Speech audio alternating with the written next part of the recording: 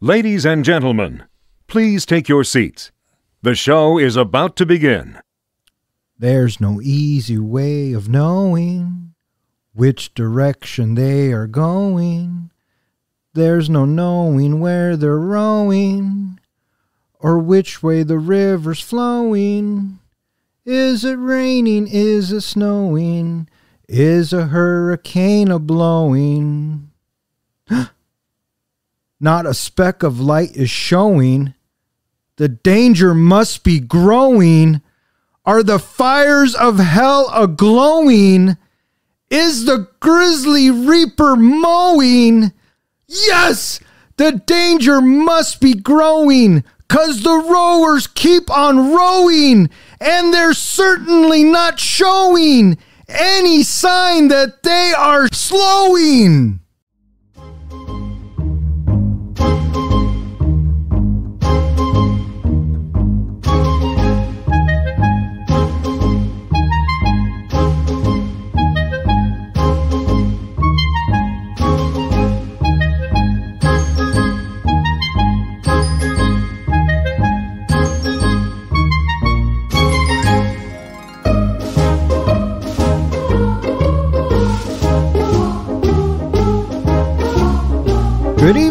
Welcome back to Three Guys and a Flick. This is where we review the good, the bad, and the absurd. Tonight's episode Willy Wonka and the Chocolate Factory. Beware spoilers.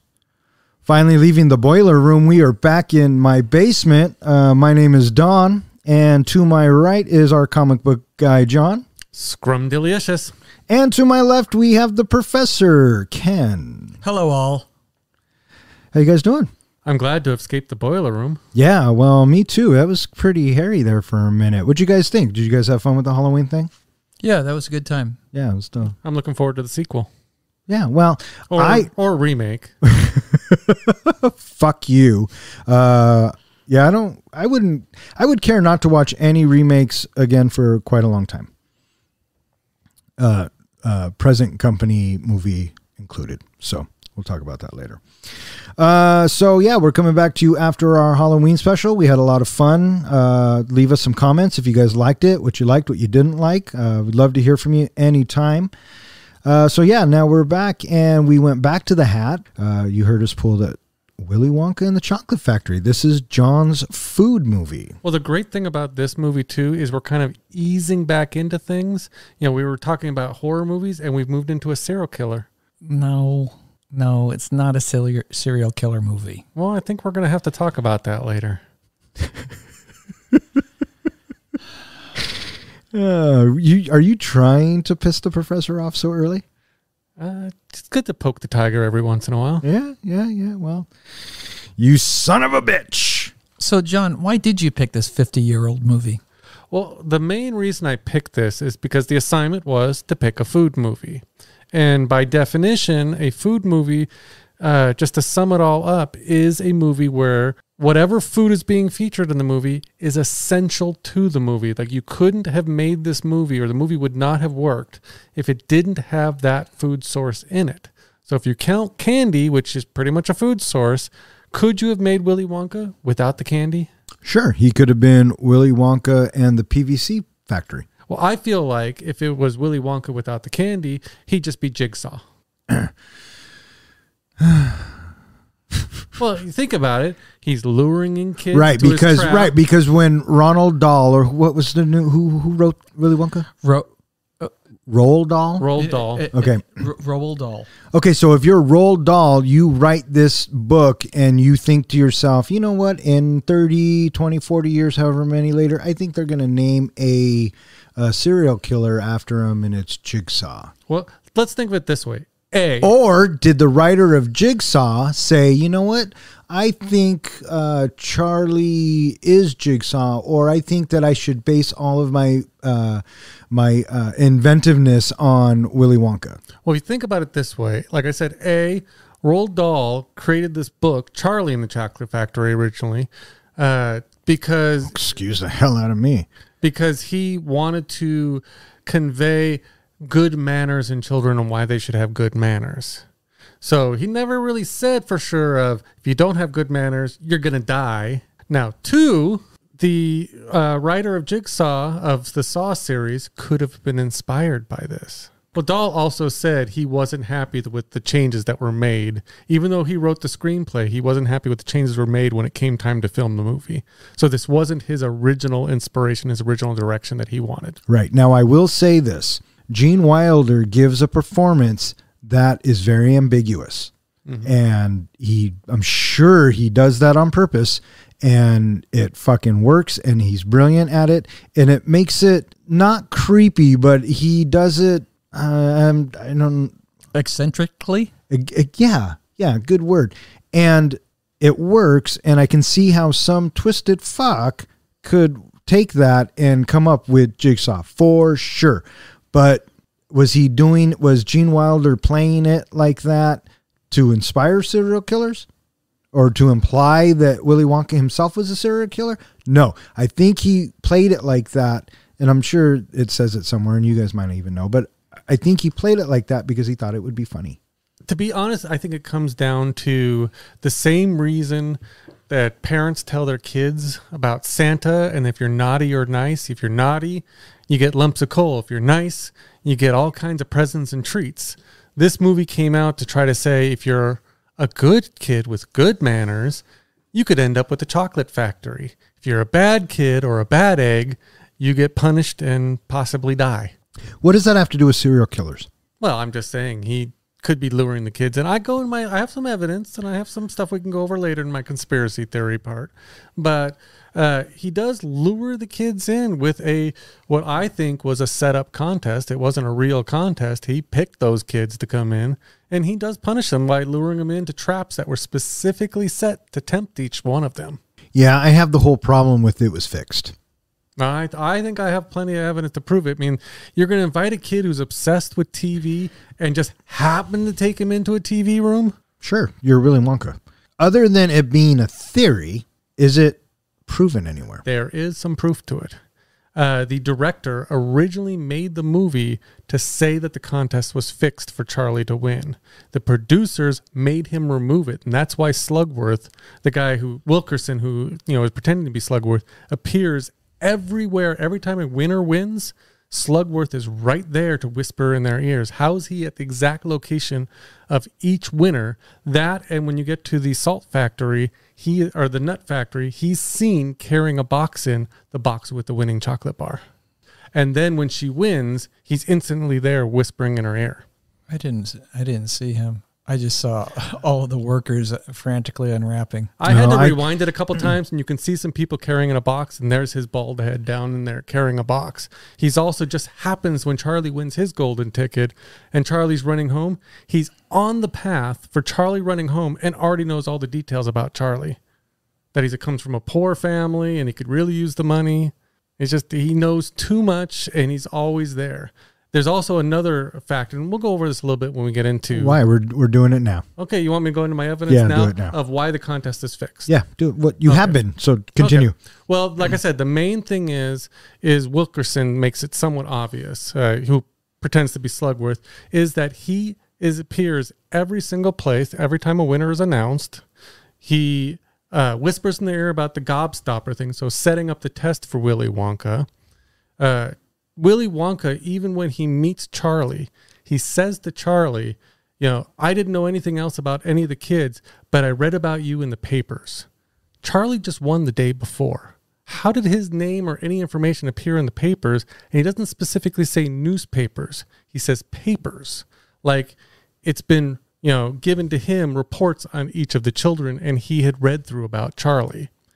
The other thing is the other theory that people have is Bill the Candyman. There are Bills the Candyman all over the world looking for certain types of kids. And most of them are looking for bad kids that Willy Wonka could bring into the factory and teach good manners or do as an example for Charlie. He happens to pick the kid who lives just blocks away from the actual chocolate factory. And the evidence that Charlie was picked ahead of time was scouted out by Bill is that you notice when Bill when Charlie first comes in with his little silver dollar thing that he finds and he says, I want the biggest bar you can give me. He gives him a scrump delicious, bar because Charlie isn't seen as unselfish at this point. So he gives him just a bar that he knows is not going to be a winner. When Charlie then comes back in and says, I want to get one for Grandpa Joe. And this is when Charlie thought the contest was already over. He says, I want to get one for my Grandpa Joe. That's what tipped Bill off to. This is an unselfish child. So he grabs the display bar. Instead of grabbing the bars behind the display bar, like what most candy people would do, they would grab a one from behind. He grabs the specific display bar to give Charlie because Charlie has just revealed himself to be the kid that Willy Wonka is looking for. All this seems really, really fantastical. I mean, it, that sounds really out there. But yes, it does. But I mean, Willy Wonka's really out there. Well, there is one hmm. other glaring piece of evidence that a lot of people on the internet report, which is after each child is, you know, fails their temptation test and disappears, did you notice the thing about each of the vehicles, about the car and the boat? There was only enough seats for the people remaining. So when they got on the boat, there wasn't enough seats for August and his mother. Oh, Augustus and his mother. that. When they get on the car, there's only enough seats for those people remaining. Yeah, no. I, So it's like Willy Wonka planned each room was going to take out two people. Huh. Well, now that we know that information uh, from whatever sources it comes from, does it make the movie better for you? I think it's a fun to kind of watch it and look for the things because it's one of those things that you watch the movie the first time and think, oh, it's just kind of a fun movie. And then you realize some of these theories and gives you a reason to go back and watch and say, okay, did Slugworth appear there? Was he carrying that box? Where else can I see some evidence? So yeah, it makes it more fun for me to watch the next time through. It, it gives it that rewatchability that we look for in movies. Oh, well, good for you. Does it make it better for you? No. Yeah, me too. I'm with you. All right, cool. Moving on. Willy Wonka and the Chocolate Factory was released on June 30th, 1971. It was directed by Mel Stuart, screenplay by Roald Dahl, book by Roald Dahl, and it stars Gene Wilder, Jack Albertson, Peter Ostrum, Roy Kinnear, Denise Nickerson, Leonard Stone, Julia Dawn Cole, Paris Themmen, Nora Denney, Michael Bollner, Ursula Reit, and Gunter Meisner. A poor but hopeful boy seeks one of the five golden tickets. You guys know what the movie's about. uh, this this movie was made for three million dollars back in 1971. Are That's you what I- fucking kidding me with that? What I think is crazy. Jeez, I mean, 1971, three million. But if you think about it, some of the rooms that they go into, like the room with the chocolate river, Yeah. They actually made a chocolate river. Oh yeah, they had to. Nothing. Yeah, they had to. Everything was practical. Uh, so yeah, it was made for three million, but it only made four point five million. So made its money back basically. Yeah. But then it skyrocketed with video sale or rentals, things Oh, like this that. this movie uh, has this movie is a classic for sure. And any list that you look at, uh, when you think classic movies of any kind, Willy Wonka is somewhere in there. Um, definitely a musical, Absolutely a musical. Wait, what? and we should have probably addressed this earlier, but we let John do his thing with his theories. It's a fucking musical, dude. Out of all your genres, four of your films were fucking musicals. Fucking musicals. But is it not a food movie? I don't fucking. Uh, I don't fucking care anymore. Wait a Could minute. also kind of be a period piece. okay, but but i- is is Not in 1971. It couldn't. is Chef a food movie? Could you take the food out of Chef and still have that movie be the movie it was? But once again, you you initially said that the food has to be a part of the story. It has to be essential. So, okay, to your point, yes, you could take the food out of the movie and it would still kind of kind of be the same story. We've seen it. We've seen it. It probably wouldn't have been as good as a of a movie, right? Mm-hmm. But the food brings in the element because that is it it was central to the story because that was the uh, plot of it. They were getting this food truck off the ground, Yeah. right? It, it was the driving force. Yeah, so I would call that a food movie. Same with um, uh, the candy. Okay. It was I'll- called I'll- Willy Wonka and the Chocolate Factory. Thank you, Captain Obvious. I know what movie we fucking watched. I had to fucking watch it and rewind it because I fell asleep. But My point is, could you take the candy out of this movie? Yes, you fucking could. Would it be a good movie? No, I'm not saying it would be, but you could technically make this Willy Wonka and the Pillow Sales. But it wouldn't be the same movie, and that's what the criteria of a food movie and is. neither would Chef. Exactly. I'm saying so both are food movies because the criteria is if you take the food out of the movie, it's not the same movie. The food was a driving factor in the movie. So in this, the chocolate factory and all the candy and all the edibles and everything in it was a driving factor in the movie. So hence, it falls under the criteria of a food movie. And again, we're going to go back to, you know, uh, which genre I assumed you guys would put uh, foremost in the, uh, when you're thinking of picking movies. And I mean, clearly you didn't, and that's fine because this is first and foremost a musical. Yeah. Just like Moulin Rouge was. But it can be multiple Just like fucking things. Blues Brothers was. It can be multiple things. Well, anything could be. It was in the spirit. It was in the spirit.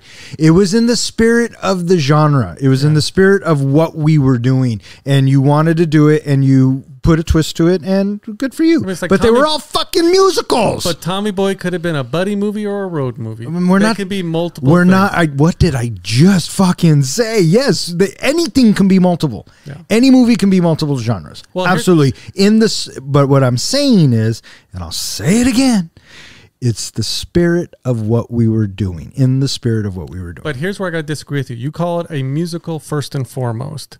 The director didn't want the music in the movie. He wanted to make the movie without the music. So first and foremost, he wanted it to be a food movie.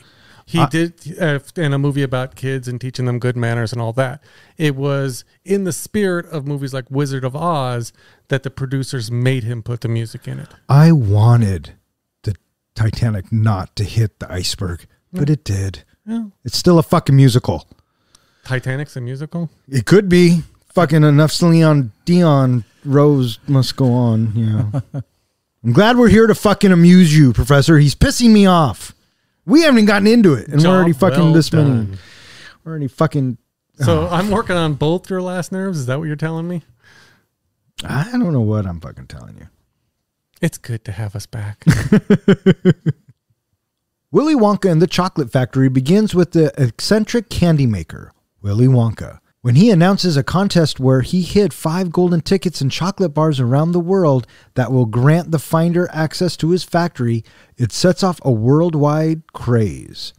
Charlie Bucket lives with his poor family, and his grandpa Joe encourages him to keep participating in the frenzy, even to the point he gives Charlie false hope. Charlie uses his extra money on one chocolate bar after the other.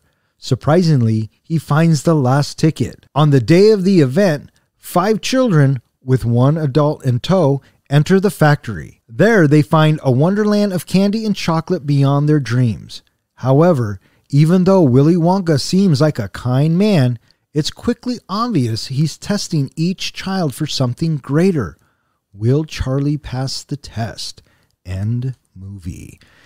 And as you can tell from our opening discussion, yes, Charlie wins. All right, so let's let's talk about this movie a little bit. Um, the opening, you have your standard opening number with your song. I think it's like 45 minutes before we even get to Willy Wonka. Yeah, and so I wanted to, yeah, I wanted to bring that up as well. It's a long time before we see Willy Wonka.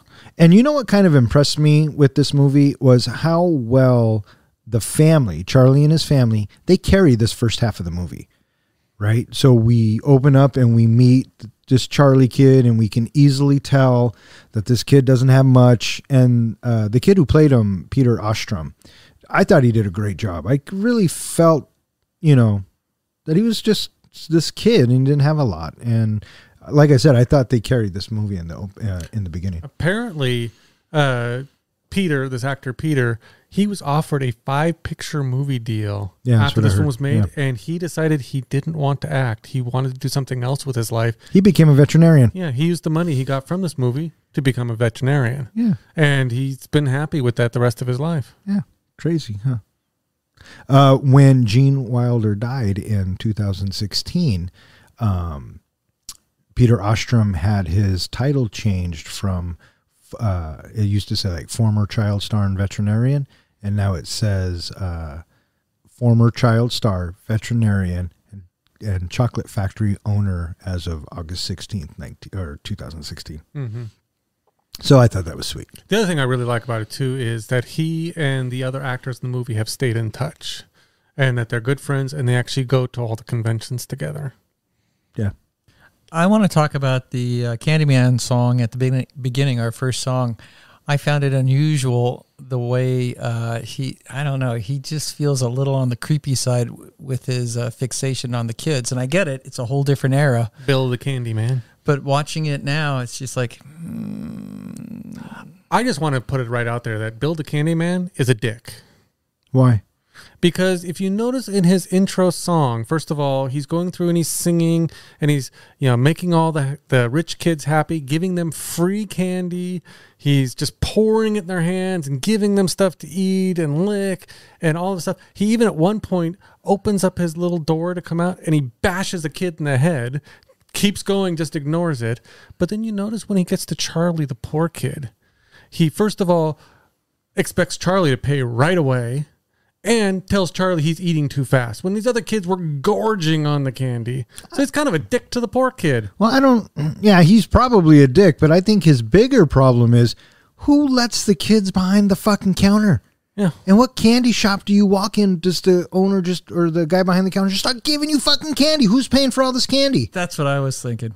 I mean, for fuck's sakes! Now, originally, Sammy Davis Jr. really wanted this role, and they thought he was too famous for this role and would be would take away attention from the other actors in the series. So much so that San, or that Sammy Davis Jr. That's why he recorded the song "Candyman," and it became one of his biggest hits on his live shows. But uh, what would you think it would have been okay with with Sammy Davis, or do you think he, they made a good call with this guy? As soon as uh, Bill the Butcher started singing the Candyman, I immediately thought of Sammy Davis Jr. Yeah. because So that's did I. that's where I know the song from. Yeah. but it, he did the song after the movie, Yeah, but still, yeah, no, I I, I know that. Yeah, I thought what- he would have been good in the movie. I thought he would have been. I would have loved Sammy Davis Jr. in this movie. hmm I mean, the casting was fine, and overall, it's not a bad film. I mean, it's not horrible, uh, but clearly the the uh, the star of the show is Gene Wilder, Mhm. right? So, but Would he have overshadowed Gene Wilder? no, because the Candyman's in it for five seconds. Yeah. And he's at the very beginning. Yeah. A long screen time passes where we have no uh, Willy Wonka. Mhm. right. Yeah, it's like forty five minutes. Crazy, huh? Yeah. Did you have any other thoughts about this Candyman or this scene, Professor? Uh, I just thought one of the kids looked like a young Leonard Nimoy. I think it's the one that talks, right? Yeah. Is the one that He's says got like a yellow shirt. I Yeah, yeah, kind of. I was trying to see if there were any actors that I noticed that you know they w- would have been kids when they filmed this, Yeah. but no I do. luck. If you do ever go back and rewatch this, or you catch us on TV, you need to watch as he comes out from behind the counter, and then when he goes back behind the counter, Mm-hmm. he lifts up the thing, and you can see this little blonde girl in the front who just gets her face knocked way back. it's the funniest thing to watch if you catch it. Wow. So basically, what you're saying is this movie is dick to kids. Yeah, basically, it just Yeah, well, screws over the kids. right 1971. it was a different time. yeah. So what do you what do you think of a family where all they do is sit in bed all day? Well, see, that's what I kind of wondered as well. So you have both sets of grandparents, and uh, I guess the, Never get dressed. right. Uh, they haven't moved in 20 years. Apparently, I'm thinking, how do they go to the bathroom? I wonder that too. Do they Chamber have a whole chamber pots? um, uh, but I guess there was a dad, and he is in the book, and he's actually in the uh, shitty remake. Um, yeah, I fucking said it, the shitty remake. Um, but he's not in this one, and I and I kind of like that about it. I th- I kind of Making like her a widower. Yeah, and that you know Charlie was the man of the house, and he was a good, and he was a good soul, and so um, yeah, uh, I, I thought that was that was kind of funny. You know, all of them in bed. Charlie's character is definitely the most likable character in the movie. Oh, hands down. Yeah. What about Grandpa Joe? You're not a fan of Grandpa Joe? I Yeah. didn't say that. He, uh, we said that Charlie is the most likable. I would say Grandpa Joe is very likable. I love the the the inner kid in him, and I love that he always had hope and he's always believing, and he's that guy. He's the one who the glass is always half full. Um, we'll get to it, but when they go into the factory and to do the bubble thing, that was Grandpa Joe's fault. Charlie shouldn't have been punished for that. But we'll talk about it. But one thing I do want to point out about Grandpa Joe, and one of the things to kind of look for when you go back and rewatch this movie, is the actor who played Grandpa Joe, Jack Albertson, who played it. Uh, I believe is in World War II. One. Was it World War One he fought in? Yes, that was when gases were used. Yeah, he got hit in the face with mustard gas. So he was almost completely blind when they made this movie. So you don't even notice that in this movie. He did such a great job acting. Yeah, I, th- I thought I really liked Grandpa Joe. To get him to look in the direction that he needed to, they used a red light for him to look at. Oh, yeah. There you go. So, what would you think of Charlie's teacher? He was a dick. Did not like him at all. I loved him. I thought he was hilarious. but I kinda- would. I kind of felt like he was a character out of Mon- Monty Python. I can see that. I can see that a little bit. Yeah. Um, but he's so condescending, and he, he was teaching them uh, percentages, which I thought was funny. no, not 200, 2%. Well, I don't want to do the math on that. So let's just say it was 200, right? So, yeah, I like the teacher. Um, let's talk about these four contest winners. Uh, Augustus Gloop. well, let's talk about Veruca. She was the first uh, shown to us. Oh, look at this guy. No, Augustus won first. Augustus won first. He was the first one to win. He was in a restaurant, and it actually just happened because this was filmed in Germany. Yeah. It just happened to be a restaurant that was near the set that all of the crew used to go to. So they decided to film the scene with Augustus in there. And I guess he was eating some type of sausage. The kid was eating some type of sausage and hated the sausage. And so every take, if you kind of look at his face, he's miserable eating these chalk or these uh, sausage. That's awesome. That's awesome. Um, you know, quiet character doesn't really say much. Uh, but Veruca, now that little shit. Oh my gosh. Her screaming drove me up the fucking wall. I want it. I want it now. I know. I know. What do you got? She sucked. And, uh, you know, I, I, I got to say that, you know, there are parents that that are out there in the world that let their children become that because of the parents. Who was more annoying, Veruca Salt or uh, uh, Violet's father? Which oh the This- car salesman? The the politician slash car salesman. uh Veruca, hands down. You think so? Yeah. Yeah. Yeah. Yeah. Easy. Uh speaking of Violet, she does she win third? Who wins third? She's third. And then I think it's Mike, Mike- TV. Mikey Yep. the TV guy. then he's gone, and then Charlie's left. Yeah. yeah, yeah. And I what I, I kind of enjoyed about this film was the little uh, Willy Wonka moments, as I called them. So like the uh, newscaster who kept broadcasting gets all upset when he doesn't win, and then the uh, psychiatrist. Uh, the psychiatrist bit was funny, and there was another one, and The I can't computer think of scene. The computer scene. That was fun, but That was, was one they just decided to add, I guess, last minute. that was pretty funny. But there was one I thought, oh, the kidnap, the kidnapper ransom one. That one I, I laughed out loud. Uh, the wife's all, I'll give you anything you want, anything you want, because they kidnapped her husband, right? And the kidnappers say, well, we want your box of chocolate, uh, we want your box of Wonka bars. Right, and she was all, how much time will they give me to think about it? Yeah. so I thought that was pretty funny. This was actually a clever part that they did of reusing actors. Is that the woman in the ransom scene who was trying to decide if she was going to give up her box jar is the same woman who was the newscaster that interviewed Mike Teevee. Oh, really? Yep. So that just they they reuse certain actors in certain parts. Yeah, see, it's been going on forever. So you shouldn't be mad at Kevin Smith when he does it. Yeah, and then so we uh then a fifth ticket comes out. And well, you know it's not the real ticket cuz Charlie gets the real ticket. But they set it up nicely and it turns out to be a fake and it just so happens because of movie convenience Charlie found a uh a coin in the gutter, takes it out, goes to gets a snickle fritz. What's he what do you call it? Scrumdiddlyumptious? Scrumdill Scrumdiddlyumptious bar Yep, and then gets the golden ticket out of the other bar. out of the other bar, and now we know that you know Charlie's going to the factory, and this was his dream, right? Him and his grandpa. You could tell that his grandpa's like his best friend. Yeah. Really quick, just to go back a little bit for the guy that won in Paraguay. Did you catch the little thing that they snuck in there? The person that they name is based off of an actual Nazi that was on the run that they thought was in Paraguay. So they were kind of portraying it as this bad guy, you know, doing this hoax who was an actual real person in history. No, I didn't catch that. Yeah, it was just another little thing for his history buffs. That's the kind of thing they snuck in there. Yeah, dude. I had no idea. So there's a for a time, you know, for a 1971 movie, they snuck in a lot of little Easter eggs in there. well, I think movies have been sneaking in Easter eggs from the beginning of time. You think so, so? oh yeah. None of that era pop into my head right at the moment, but you know, Mm-hmm. they're there if you look for them. And if not, you could just troll the internet and find them. Mhm. So, A lot of great conspiracy theories. Yeah, well, I don't, I wouldn't use the word great, but moving on.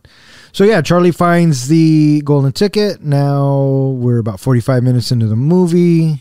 I know you've all seen this movie before, but every time I see that scene where he pulls out that bar and he gets his golden ticket and he gets surrounded by all the people, I kept expecting someone just to snag the ticket out of his hands and run off with it. Oh, yeah, so did I.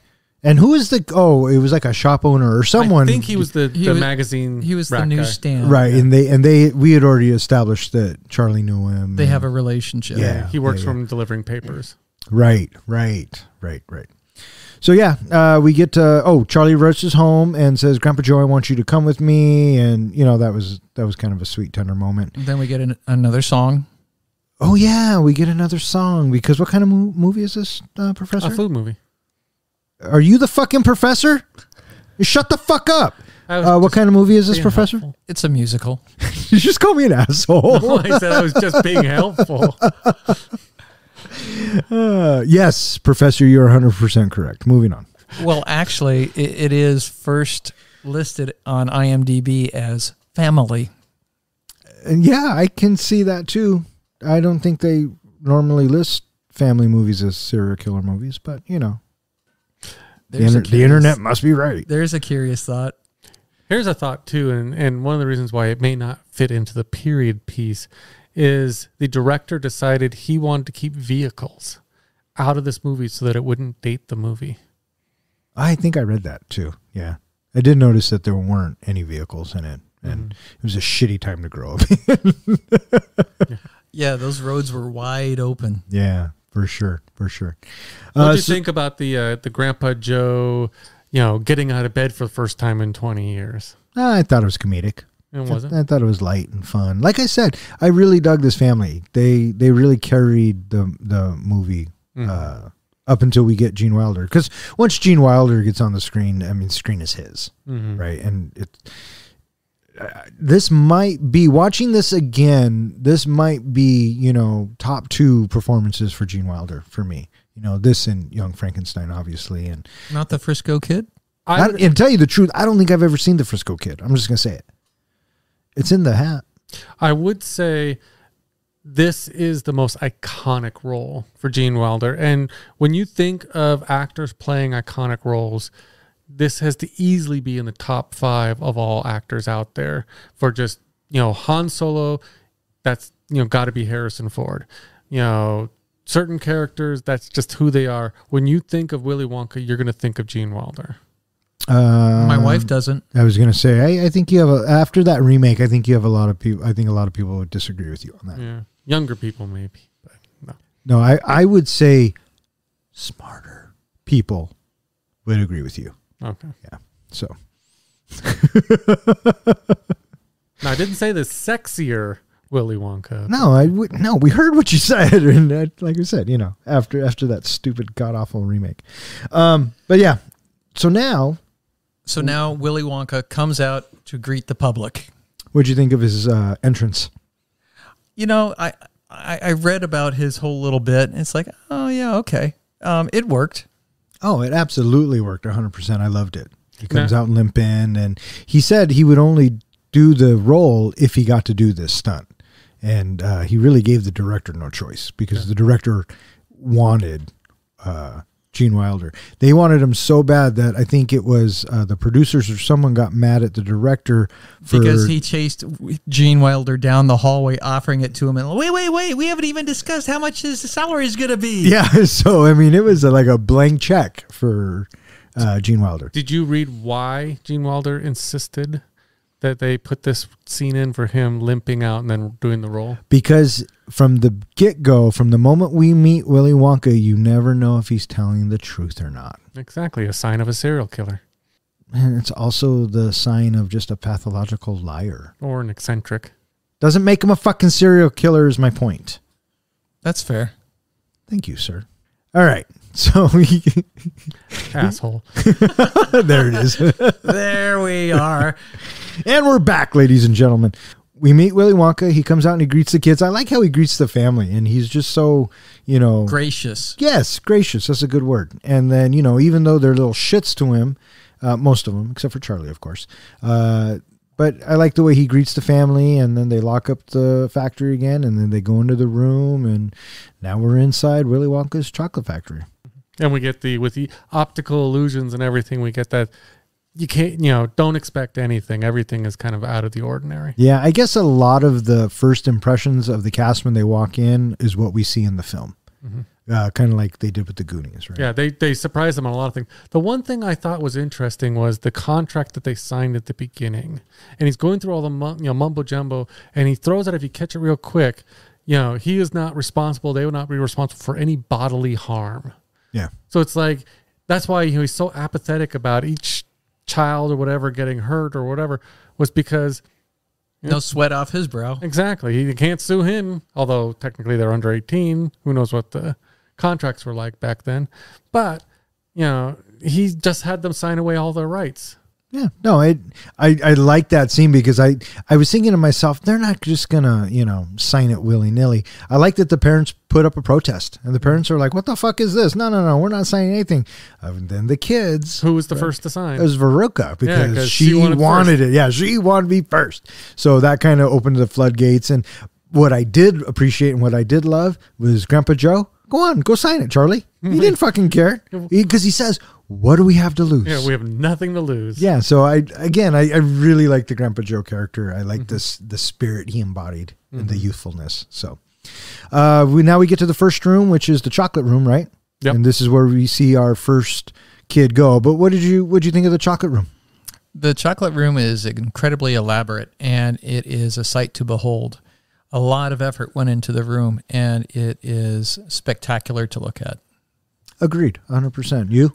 when I read the behind the scenes making of that, uh, first of all, the scene where he's coming down the stairs and he's singing his song and he's flipping his cane around, I guess several takes, he whacked those kids hard. In fact, one of them has a permanent scar from where he whacked one of the kids. No way. Uh, the chocolate river uh, was made with chocolate, water, and cream, and the cream curdled. So that whole river just stunk Oh up the God, whole place. So the kids were miserable, especially Augustus, who had to, you know, actually get close to the river and fall in. And it was just a nasty. Originally, they didn't use cream; they just used chocolate, and it turned blood red. Oh, So they had to put the cream in to, you know, brown it down a little bit to make it actually look like chocolate. Um, the other thing is to watch for in this scene is Veruca Salt at one point goes down to kind of eat this melon thing and goes down on a rock and cuts her knee open. And I hmm. guess you could see blood on her stocking later. And she still, the actress who played that part, still has a scar on her knee for where she cut her her knee on that rock. Do you think Willy Wonka was staring at her? Look at the blood. I think so. He was kind of going, get closer to the river. Look Get at the closer." blood. Professor, don't encourage him. But no, that you're absolutely right. That scene was spectacular.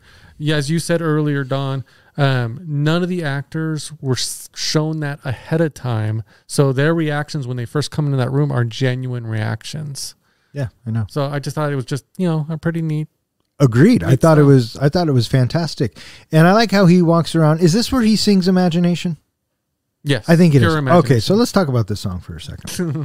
why don't you tell us a little background with you in that song? Oh my god, this fucking song. Uh, I used to work for a company that uh, we were clients for this other big company, and they were releasing this product. And the video, the sizzle reel that they used was, uh, you know, an updated version of Pure Imagination. And I listened to that song on a loop for like four days straight because I was backstage. I can't stand this fucking song. And unfortunately, because of that traumatizing experience, that song takes me out of the movie it was originally made for. So when you were watching it, what ten minutes before we started this, Mm-hmm. were you ready to kill me? Well, no, I as soon as we pulled it out of the hat, I wanted to kick you in the balls for three reasons. One, fuck you. Two, fuck you. And three, It's a musical. So there you go. That happens to be a food movie in a period piece. You know, I think people are tired of hearing me. You son of a bitch. It is not a fucking drive me up the fucking wall. It can't be a period piece. You already said there's no cars. That uh, there is as few vehicles as possible, so that way it would be a timeless movie. I know, but sometimes you got to poke the tiger. I lost my fucking train of thought. Where were we? Oh, We pure lose- imagination. Yeah, And we were about to lose Augustus, Augustus into Gloop. the chocolate river. That's right. Okay, so we're in the chocolate room, and uh, Augustus was clearly uh, the sin for gluttony because he overindulged in a lot of things, as his appearance would tell us. And he goes in and he drinks the chocolate, Chocolate River. and uh, Wonka's like, "No, you can't fucking Well, do that." This is our first introduction to Wonka and what he cares about and his apathy. In that, notice he stresses out about the river. He's going to ruin the chocolate. He's going to ruin the chocolate.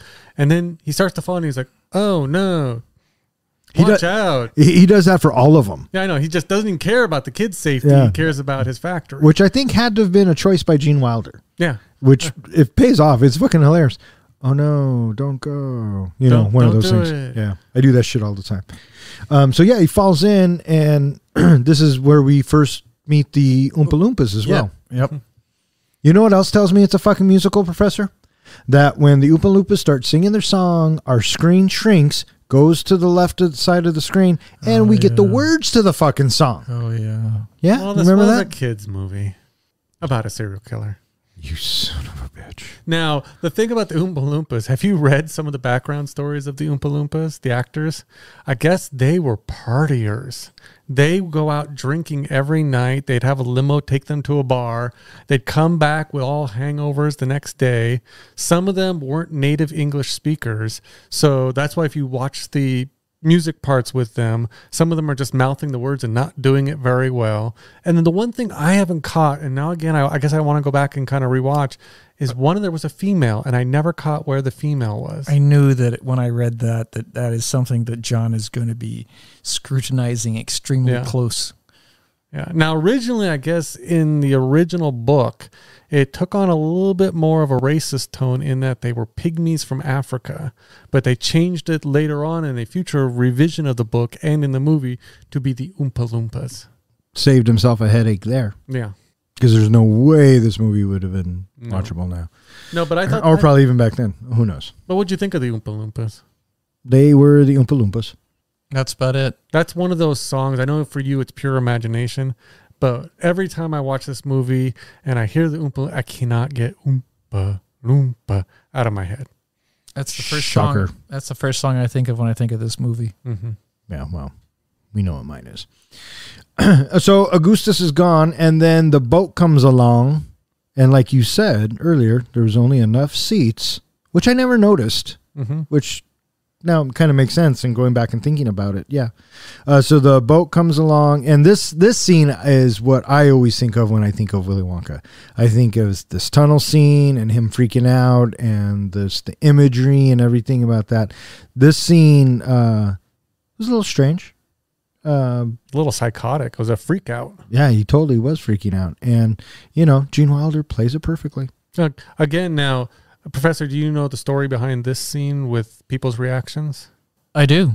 The uh, children were uh, unhinged by Gene Wilder's performance. They were completely un- uh, completely uh, off guard with Gene's interpretation of how he was behaving, as we heard at the beginning of this show, courtesy of you, which I think might be our new TikTok video. So the children did not expect this performance at all, and they were very, very uneasy and thinking that he had snapped or something. Now, even the adult actors didn't know because originally they had heard him sing it. This was the only song in the whole movie that came directly from the book. The poem was in the book. Oh yeah, And so they didn't know to what to expect. They'd always seen him read his lines quietly and passively, and he went off and and they thought, especially when he started screaming, they thought he had lost it. And then all of the things that they're seeing, you know, the cannibal stuff going on, people with bugs coming out of their mouth, which I guess was one of the producers or something, uh, one of the side directors, agreed to have this centipede put on his multipede put on his face. Um, all of that stuff was filmed and, and all of it going on just was chaos. Yeah. And then they come out the other side. Mm-hmm. And where do they come into?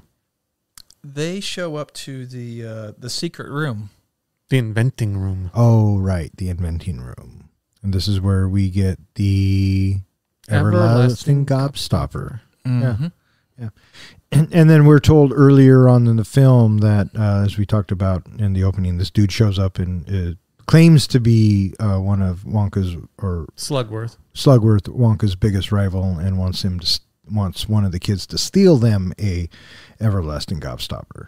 And they come in and they see how this thing was made, and they get an everlasting gobstopper, and then they move on. They well, they move on to the gum machine that uh, Violet spots that makes a three course meal into a piece of gum. Yeah, and since we've already been introduced to Violet as a gum chewer, uh, she has a piece of three month old gum in her mouth. Awesome. Uh, naturally, she takes the bait, and you know, maybe Willy Wonka is setting all these up. Yeah. Maybe he is luring them in like Jigsaw. Um, so Violet chews the gum, and what she get? She gets Um, she gets a, uh, a, a a soup. Tomato soup, pouring Yeah. down hot tomato soup down her throat, a roast beef with mashed potatoes, Yep. and then for dessert, a blueberry pie. and Violet turns into a blueberry. Yeah. The interesting thing I thought of, or heard about this, of course, they didn't have CGI or special effects back then. So they had to use all kinds of different treatments, lighting.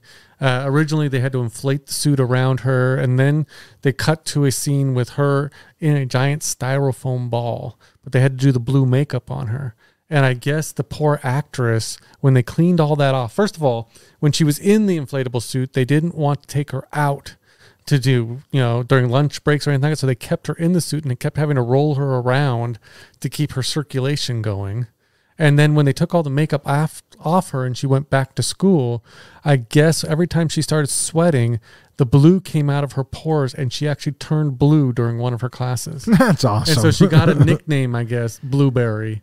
So if if this is indeed the case, I am curious to know: Do you have a theory as to why Charlie's uh, vulnerability would be the bubble room? You know, I think, and Don, you brought this up earlier. It wasn't Charlie that chose to drink the drink. It was Grandpa Joe's pressure on Charlie to drink the drink, um, saying, "Come on, let's do it. Nobody's watching. Let's do it." And so Charlie gave in to peer pressure because Charlie was an easygoing kid.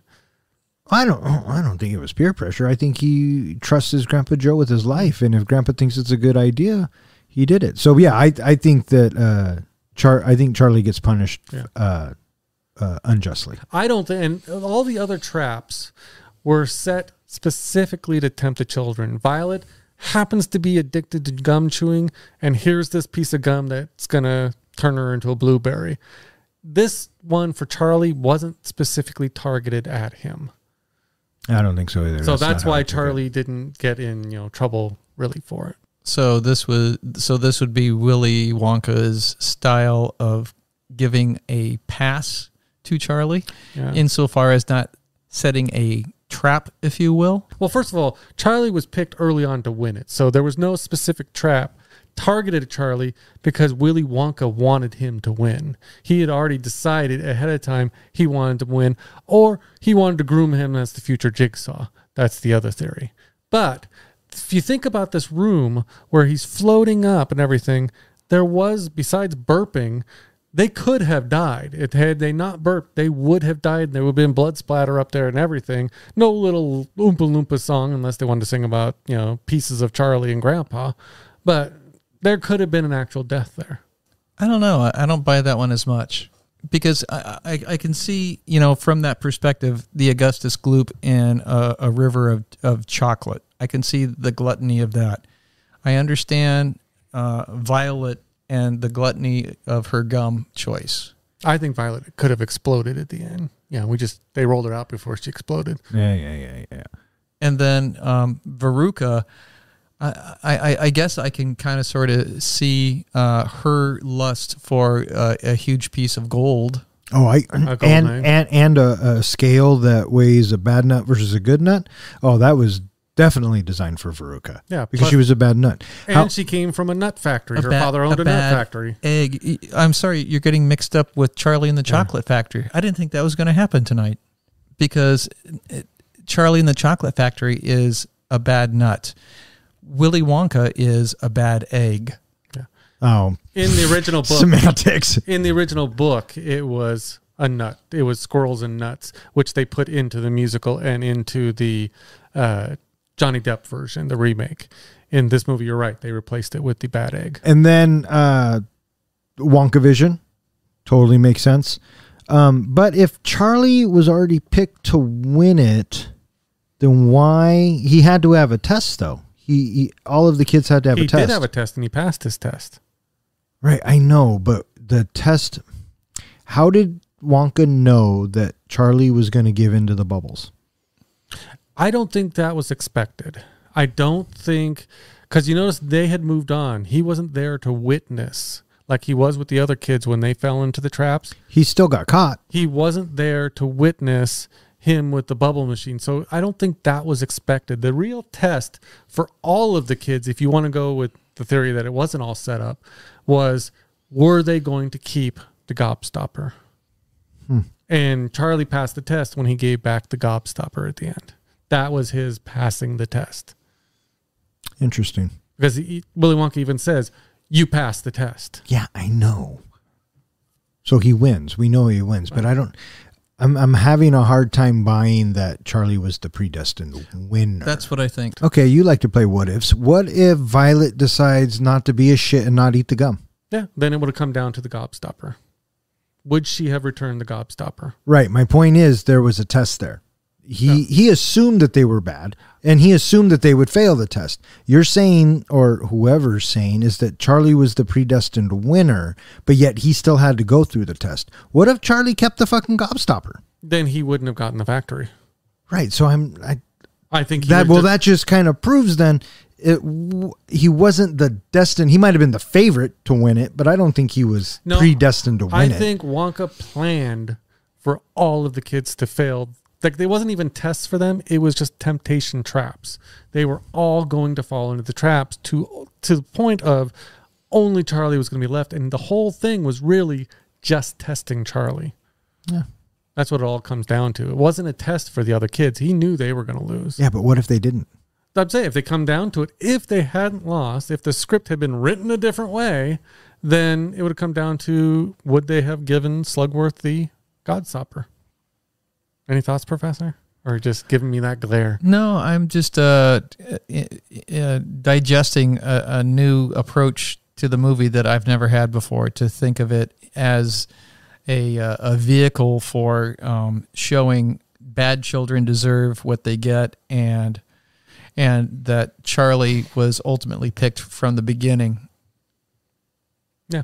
It's really Yeah, just new take. really the movie was made to show that children with bad manners have bad things happen to them that they should have good manners and Charlie wins because of his good manners. It was that was the point of the movie. And that's what I generally had as well. But, you know, to take it a step further and to say that you have these children that are given a uh, test that is meant to have them fail, I, I never thought of it like that before. That uh, here is a situation specifically designed to make you fail.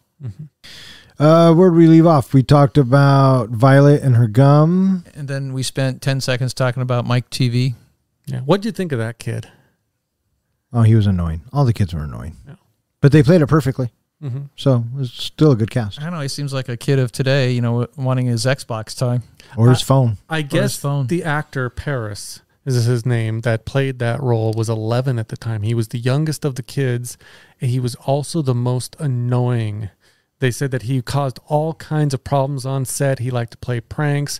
In the scene that you see where they're making the four course uh, piece of gum or the three course meal piece of gum. You had the bees, and which, for interesting enough, they were wasps who don't make honey, but the wasps in the thing making the honey. When that scene was finished filming, he opened it up and let all the wasps out, That's awesome. and he got stung on the face several times because Oh, of it That's what you but get. he was constantly doing things like that. And when Gene Wilder talked in interviews about making this movie, he talked about how great all the kids were. But then when he got to Paris, he just said he was a handful. Yeah. Well, he was being polite. Yeah. He's being polite. Now for Veruca, the actress that played Veruca, um, I guess she was really nice. Her and the actress that played Violet had a crush on Peter, uh, on the boy, uh, and were always trying to compete for his attention.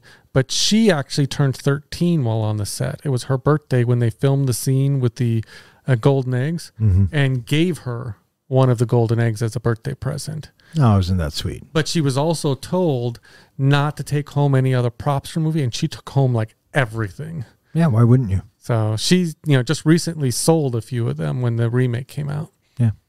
Speaking of Veruca, her death scene is the scale, uh, good egg versus bad egg. Well, she had a 50% chance of su- surviving, according to Willy Wonka.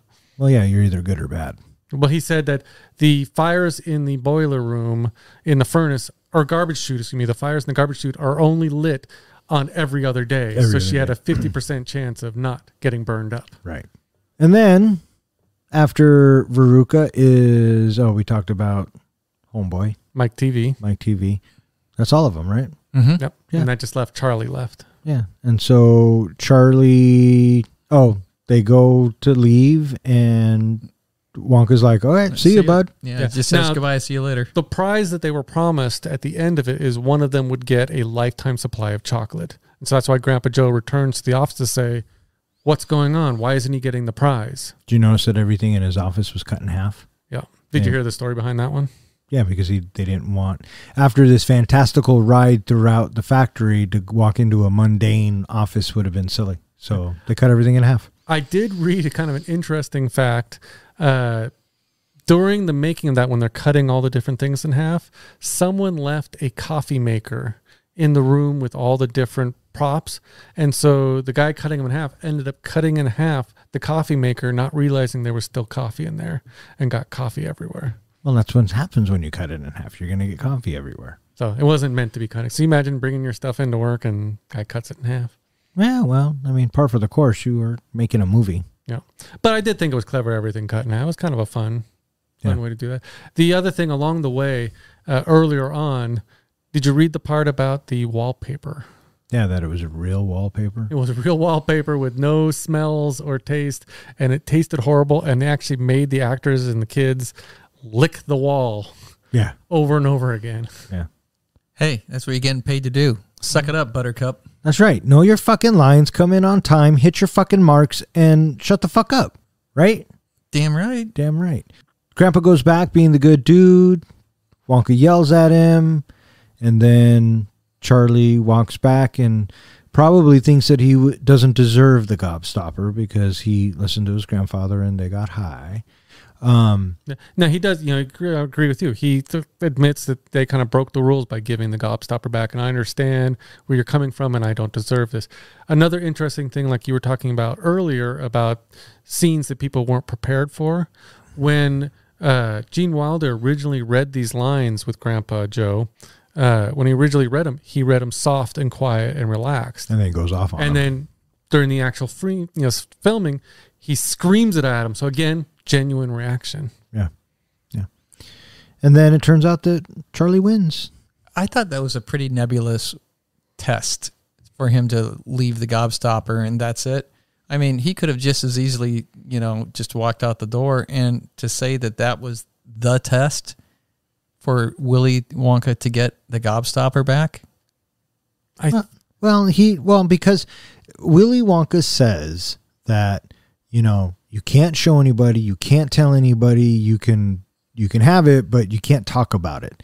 And I think that uh, Charlie felt that because he disobeyed the rules and he participated in the bubbles, that you know he doesn't deserve it. And I think that showed Wonka that this kid is trustworthy He's also unselfish. That was he was going for. and unselfish. And so I buy that as a test for sure. Mm. That's just me. I mean, he could have kept it and gotten ten thousand dollars for his family, or like you said, he he knew he broke the rules and he wasn't thinking of himself. He was thinking that he hurt Willy Wonka. He wanted to give it back to him and show that he's unselfish. Here's a theory for you. He knows that that wasn't Slugworth, Yeah, doesn't he? At this point, or does that afterwards? Well, he finds out after because after he wins, that's when Wilkinson comes in and reveals himself. Oh, okay. I was gonna say that. Well, he already knew that Wilkinson wasn't Slugworth, so he wasn't gonna get ten grand. Mm-hmm. But Okay, but the other kids supposedly make it out of the factory alive, and they have their gobstoppers. we never see them again. we'll never know. Now, in the remake, they show the kids leaving the factory. In this one, we never see the kids or Why- the parents leave. why the would you? factory. Why would you even bring that up? The remake? Yeah, why would you do it? I don't know. Because he's because Johnny Depp's so dreamy. No, That's why you brought it up. No, I'm gonna need no. more than that. Why would you bring up the remake? Ch- Charlie could just as easily be an upstanding person and keep the gobstopper for himself. He's not looking for a cash out necessarily at all. Oh no, he no no no no no no no. He gave it back because he felt bad. I think yeah, I agree with I you. know, 100%. that, I know that, but he could have just as easily kept it and kept his word of not sharing it with anybody. Hey, he could have, but he didn't. But that wasn't the test that Willy Wonka set up. Well, I'm sure there would be more revealed if any of us chose to read the book. Yeah, that's gonna happen. However, however, all we have to go with is what is on screen. that's right. I This agree. isn't a reading podcast. No, but I see what you're saying. You know, if, if it's easy to watch this film and not think of it in those terms and just think of it as this fun ride that the filmmakers wanted to take you on. You know, it's when you go into these, uh, the subtext of everything and people trying to pull these theories out and trying to make it more fun to talk about. Some of them are interesting for some movies and some of them aren't. And I mean, that's just, that's just the way the world works now. And we can expect that with any movie we see. And Well, One ahead. of the things I think with these theories is the first time you watch a movie, you don't need to have any of these theories. You can make a few of your own, you can have some ideas of your own, but watching these movies the first time is just a fun ride. I think they enhance sometimes the rewatchability, like for Matrix and other movies. When you start looking at these theories and people, what people think on the internet and all that, and you start going looking for things of could that work or is that not true? I mean, you know, you're discussing with me the opposite side of the coin of how a lot of these theories could be wrong. It's created that dialogue for us just by having these theories. Yeah, but you also said Matrix, so your credibility just went to the fucking tank. I like the Matrix. And I got to say that, you know, if it's not a musical, the only way John is going to like a movie is if you could have some sort of a theory angle to approach that storyline with. Sure. And I can't think of a movie that the theory makes it better for me. Did you hear the story behind the Willy Wonka wash? The- Uh, oh, yeah, it covered would- in the foam, Yeah, it was um, fire extinguisher foam. right, and it Mixed made everybody else, yeah. and made everybody's skin irritated, and Puffy. they all had medical attention. And Mhm. yeah, crazy shoot. But back in nineteen probably seventy when they shot it because it was released in seventy one. Um, Nobody thought about Did it. they have like and it's all practical. did they have like That's safety cool. people on sets back then? Why are you asking me? Well, I wasn't around back then. No, but you're a filmmaker. That doesn't mean I have safety people on set at all. Uh, Oh shit! I don't think I've ever know had that. safety people. We know Yeah. that from experience, right, Ken? uh, pretty much. Have you? Have either of you ever gotten hurt on any of my sets? Yes. That we are I'm not talking emotionally. that we are allowed to talk about. No, you signed the NDA. Okay. All right. So Willy Wonka says, "Yeah, you win," and then go into this crazy elevator, and then they fly off to Never Never Land. Yeah, we don't know if they ever landed. Well, I guess we don't. There's a lot of things about this movie we'll never know, Mm-hmm. but I guess we can ask some people on the internet, and they'll tell us. Yeah. Well, there was supposed to be a sequel because uh, Dahl wrote another book called Willy Wonka and the Glass Elevator. Uh, but he was so upset, apparently, by the changes that were made in this movie that he refused to sell the rights to the sequel book. Oh well, So that's why we never got the sequel. I wonder who owns the rights now. I think he still does. Is he still alive? I don't know. Can't be. He wrote the. Probably not. He He wrote wrote the fucking Wizard of Oz. Well, he also wrote the uh, the Witches movie. That kid movie came out for kids a while back, and was so upset. I mean, he, I guess he's very eccentric and hates when his movies are like made into or his visions are made into movies that he doesn't agree with the way they're done. That he drove outside different theaters with a megaphone yelling for people to not see the movie. That's a lot of effort. Yeah. That is a lot of effort. For Willy Wonka, besides the script changes, he also wanted he had a specific actor in mind to play Willy Wonka and was not happy with the casting of Gene Wilder. So who else did uh, the director want to play Willy Wonka? He really wanted Spike Milligan. Who the Like, fuck is Spike he was an eccentric British actor. But again, they thought he just wasn't quite right for the role, and uh, the director really wanted Gene Wilder. Yeah, well, tho- those were your big top A-listers. I, I, guess, guess. Peter Sellers was also considered for it. Oh, interesting. That would have been wasn't interesting. he uh, from Pink Panther? He- yeah, he Yeah. was from He yeah, was considered Inspector Clouseau. He Yeah. he wanted it. Did he? Yeah. Yeah. But uh, I don't think anybody else Wait. could have done the role. Wait, wait, wait. You you found it. There's a couple other names in there. Who was the other names? Like I said, I didn't write it down. So you Oh, for didn't sake. do your research? Is that what you're saying? It's your movie that you fucking love so much. I knew that we were gonna have uh, factoids out the yin yang. Yeah. What now, bitch? What do you got to say? At least I pulled Spike Milligan out of Don's ass. Well, you- uh, First of all, you were nowhere near my ass, and second of all, who the fuck is Spike Milligans? I don't. You have to look that up. Oh, Shit. Did you like the ending flying off in the elevator? It didn't bother me one way or the other. It was fine. One of the more uh, things to kind of look at and ask about this is originally the movie was supposed to end with Charlie saying "Yippee!" Wait, after he I- finds out he won the factory. It wasn't Grandpa. No, that wasn't. That was written at the last minute uh, because the director and the producers didn't want it to end with "Yippee." They wanted to end, you know, because they didn't want to pull a Star Wars moment. They wanted to pull out a something else. So that's why Gene Wilder came up with the line of, "Do you know what happened to the guy who wanted every, or the guy who got everything he wanted? He died happy. He lived happily, Happily ever, ever He lived after. happily after." It's your fucking movie, and you don't even know the quotes. Yeah, whatever. He, uh, Gene Wilder came up with that line. So, what do you think? Should we rate this bitch? Let's rate this bitch. Hey, Professor, how do we rate our movies? We give it a one to five scale rating. A five is a movie that you're turning around right now and watching it again. It just finished and you're going to watch it again immediately. A one is a movie that you have said to yourself, I have seen it and I'm never going to watch it again. A three is somewhere in between. You feel okay about it and you're going to watch it again. Maybe even own the movie. And what would a zero be? A zero is a movie that you feel like that you are owed two hours of your life back. Or wait, how long was this movie? Hour and 43 minutes. Or like an hour and 43 minutes back of your life. I feel like we should kind of reword our ratings there. Like a zero should be candy corn. Maybe a one, black licorice. Wait, What would a three be? candy corn?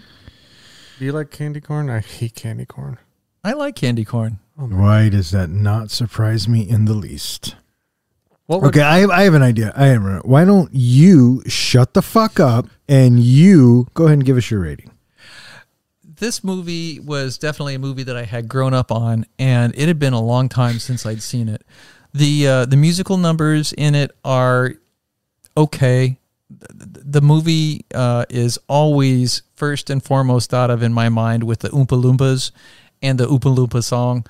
For the most part, it's a passable watch. It is not something that I am excited to watch again anytime soon. It is certainly 50 years old. It it feels old. Gene Wilder does a great job with this, and I think that it's an iconic Gene Wilder role. And I do appreciate Charlie as well.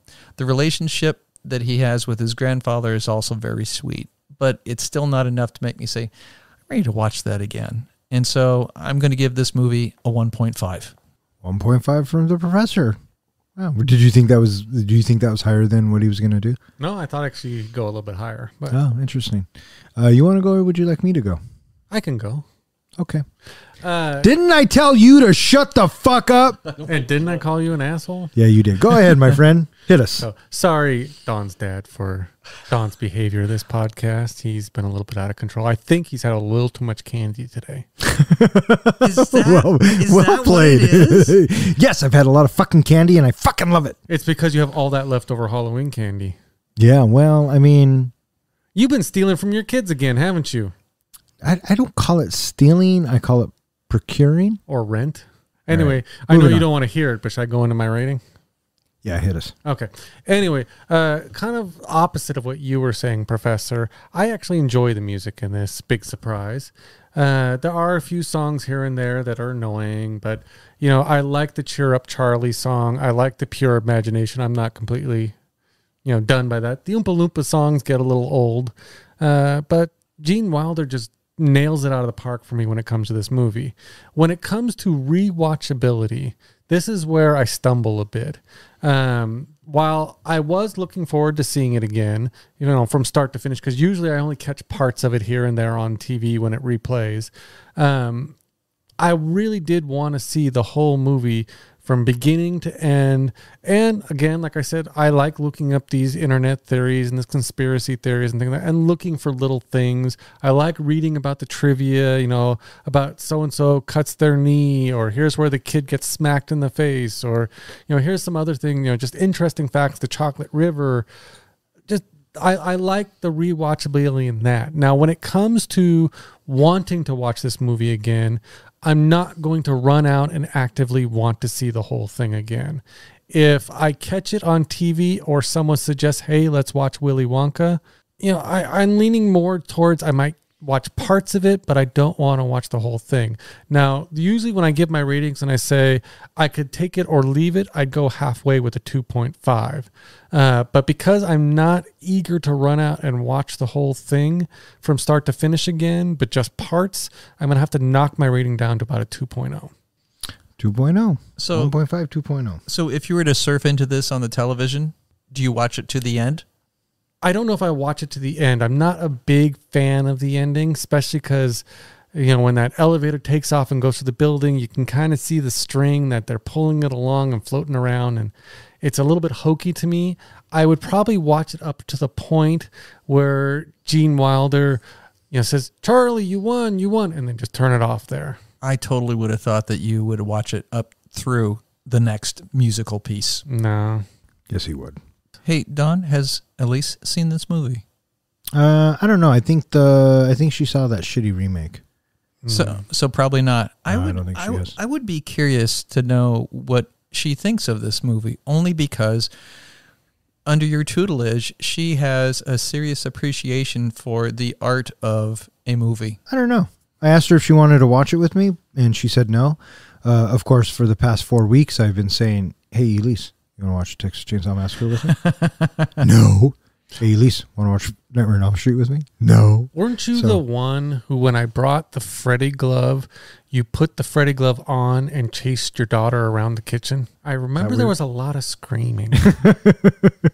Yeah, that I fucking love that glove, dude. I'm telling you, I'm telling you. That's the only reason why I keep you around. All right, so Don, your rating. Yes, my rating. Uh, Willy Wonka and the Chocolate Factory. Uh, timeless movie. Uh, like I said, I really enjoyed the family element of it. I really enjoyed uh, Gene Wilder. Uh, the sets were beautiful. Uh, it's impressive that it was uh, all practical. It's mind blowing that it cost three million dollars to make in 1971 and only made 4.1, 4.5 million uh, in the theater. But obviously becoming a, a classic on video and, and a classic musical. And I like Wilder's performance and the songs I could take or leave.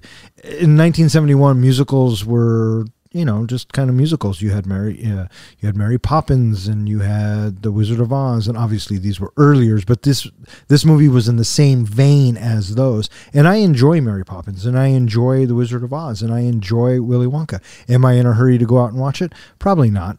Uh, will I watch it again? Eh, maybe eventually. It is. Is it a zero to me? 100% no. So I'm going to give Willy Wonka and the Chocolate Factory a 2.5. Right there in the middle. So you get a 2.5 from me, a 1.5 from the professor, and a 2.0 from John. Uh, since in honor of our, uh, you know, our horror series that we did, we had one specific question we asked every time we watched the movies, which was, "What was your favorite kill in this movie?" Favorite kill in here, not Augustus Gloop. I think Veruca. Veruca. She was the one deserved to get it the most She just dropped down a hole. She just dropped down a hole with, with, a musical number. with with a label of bad egg. Yeah. Uh, I would have to say mine would be Mike Teevee or uh, what's his name? Mike Teevee. Mike Teevee, uh, because when he's little and he's put in the purse, Willy or Wonka takes the purse from the mom, and if you notice, he keeps swinging it in really big motions. To he's probably you know uh, killing the kid inside the purse. So I'm gonna go with the TV one. Well, I love in that scene too, uh, when the Oompa Loompa tugs at him and he bends over and he says, "No, I'm- I won't hold you responsible." Yeah. Like Yeah, something's going to happen. Oh, is that it was the taffy puller? yeah? The That, taffy that's puller. what. Yeah. So So what's that, yours? That I, I think I'm gonna have to go with the bad egg as well. Uh, I just that whole music number, then just getting rid of her because she was the most annoying character. Yeah, but there was nothing to it. I guess. I guess if you look at him, Augustus just falls in and drowns. Ver, uh, Violet eats the gum, and that's where something physically happens to her, and it looks dangerous. You know what? Same with Mike. you know what? Might have made that scene better with Violet. Blood. is do you remember the scene from Cloverfield where the lady gets stung and then blows up and explodes? Yeah. That's how I imagined when they closed that door and she went around the rolled around the corner. That's what I imagine happening. She just exploding. Yeah, just inflates and explodes. Yeah. Well. All right. So there you have it. Our favorite kills.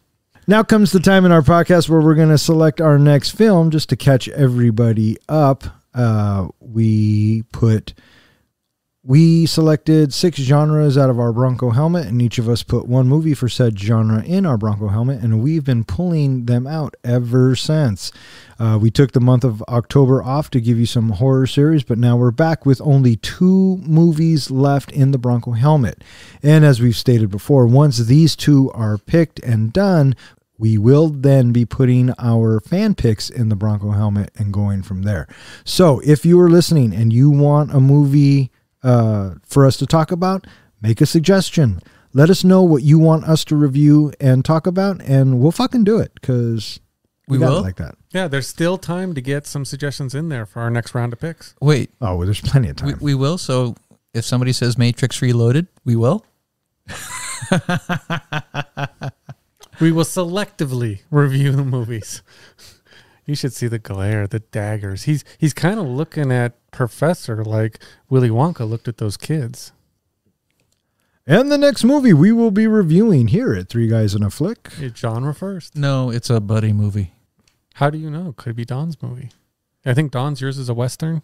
Mine is a Western, John. Thanks for reminding me.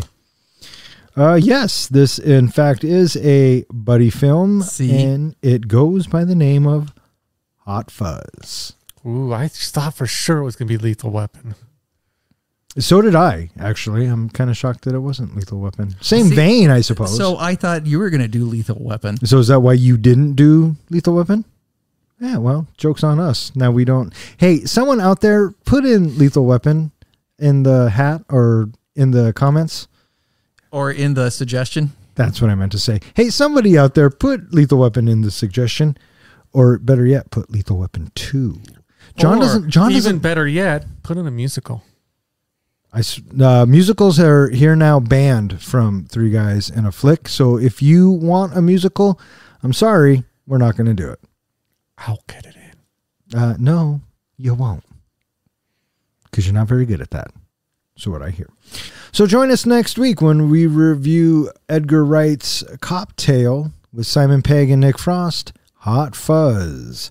Hey John, where can they find us? They can find us at any popular or unpopular podcasting hosting site Spotify, Podbean, uh, Apple Podcasts, iHeartRadio. We are on all of them uh, because cause I've thrown us out everywhere.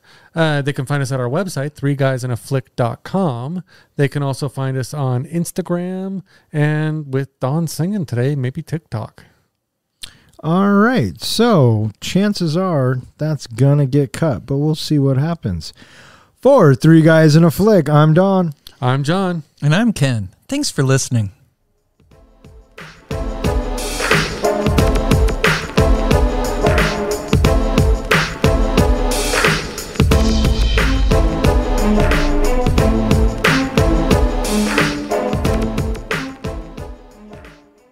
Uh, so, uh, Professor, uh, your wife being the biggest Johnny Depp fan that we know, do you think she would prefer this one over the original? Hands down, she would totally pick Charlie over Willy.